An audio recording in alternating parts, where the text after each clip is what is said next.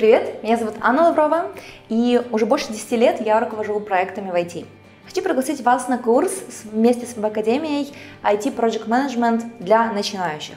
Это очень базовый курс, во время которого вы определитесь, хотите ли вы в принципе работать проектным менеджером в IT или не в IT. Мы рассмотрим различную документацию, которую вы как проектный менеджер обязаны готовить для своего внутреннего использования и для того, чтобы поделиться э, с вашими кастомерами. Мы поговорим о том, какие типы заказчиков бывают. Мы научимся подбирать команды. Мы научимся разбирать типы конфликтов и ситуаций в ваших командах. Мы поговорим о мотивации, мы поговорим о том, что отличает IT-проекты от не IT-проектов. Мы поговорим об agile, о канбане, о различных способах масштабирования скрама и даже поговорим, как жить в мультипроектной среде. Мы будем делать домашние задания и будем много-много практиковаться на самих занятиях. Буду рада видеть вас на курсе в следующем году.